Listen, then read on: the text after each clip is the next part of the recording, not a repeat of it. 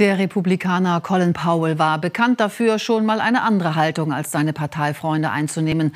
So stellte sich der pensionierte Vier-Sterne-General bei den US-Wahlen vor einem Jahr auch hinter Joe Biden und gegen Amtsinhaber Donald Trump.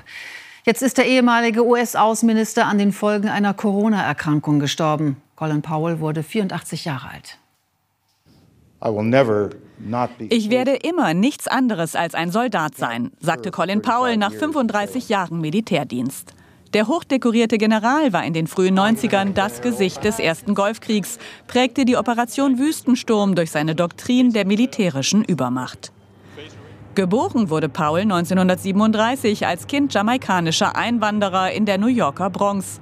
Er studierte Geologie und begann eine Laufbahn in der US-Armee. Diverse Präsidenten hörten auf seinen Rat. Reagan ernannte ihn zum nationalen Sicherheitsberater, Bush Senior zum Generalstabschef. Bush Junior holte ihn aus der Rente, machte Powell zum ersten schwarzen Außenminister. Sein Ruf litt unter einem Auftritt im UN-Sicherheitsrat, bei dem Powell für den bevorstehenden US-Einmarsch in den Irak warb. Saddam Hussein und sein Regime verstecken, dass sie mehr Massenvernichtungswaffen produzieren.